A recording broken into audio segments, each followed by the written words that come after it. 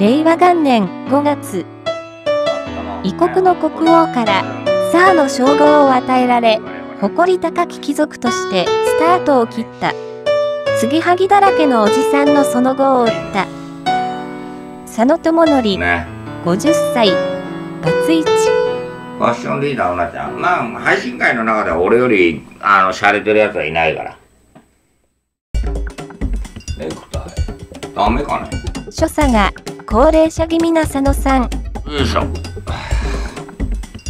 靴下脱ぐから。据えた靴下を脱ぎ捨て、母性本能をくすぐる佐野さん。座面が高いソファーから腕を伸ばして仁義を切る佐野さん。さりげなく置物の犬に脇の匂いを嗅がせ気絶させようとする佐野さん。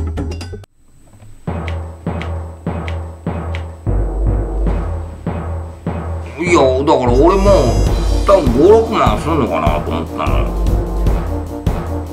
いやだから俺も多分56万すんのかなと思ったのよ。今。完全にマフィアになって。るなマフィって。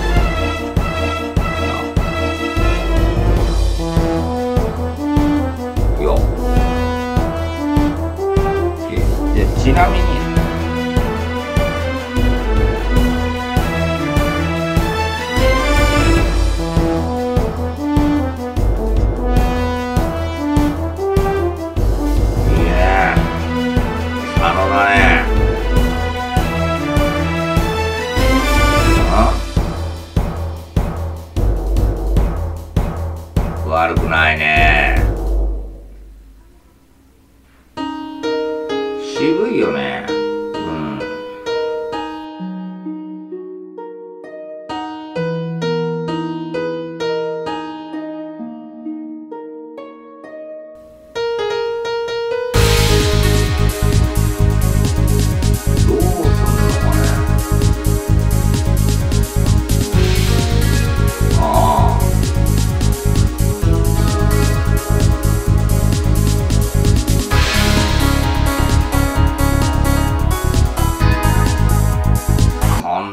配信者なかなかいないよ。いないね。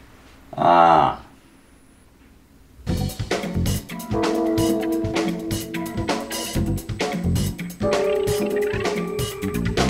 まあまあ、そこら辺はね。電波不良かと思いきや余裕をかましていた佐野さん。まあ、ちょっとしゃれてるな、このソファーな、と思ったから買ったんだけど。今日ね。今日から寝るスペースがなくなった佐野さん、酒場行きたいあー残念ながらやってないんだよね。うん。ごめんなさい。またなんかやってる時にね顔出してもらえれうん。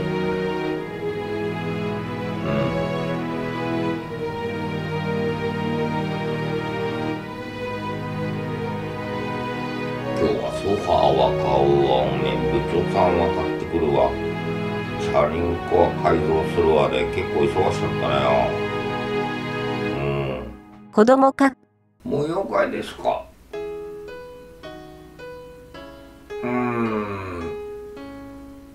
まだ他にもちょっと買いたい家具があるから。匠の城はゆとりの八畳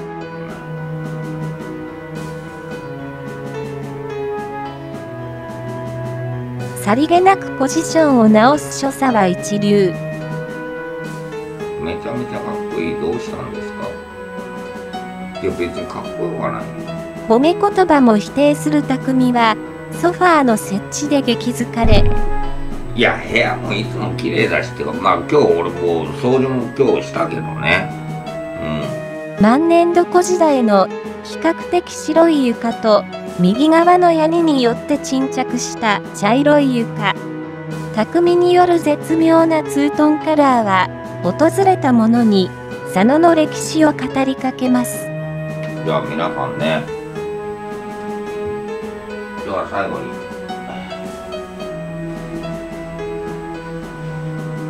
佐野で言っていいですか？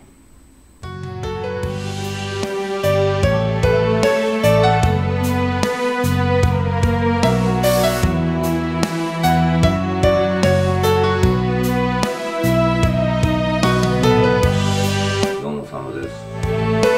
もう信じられるのは何でも揉める歯茎だけである。こうして佐野さんは今日もインターネットの世界で生きている。生きている。生きている何か何来たって決まっちゃうね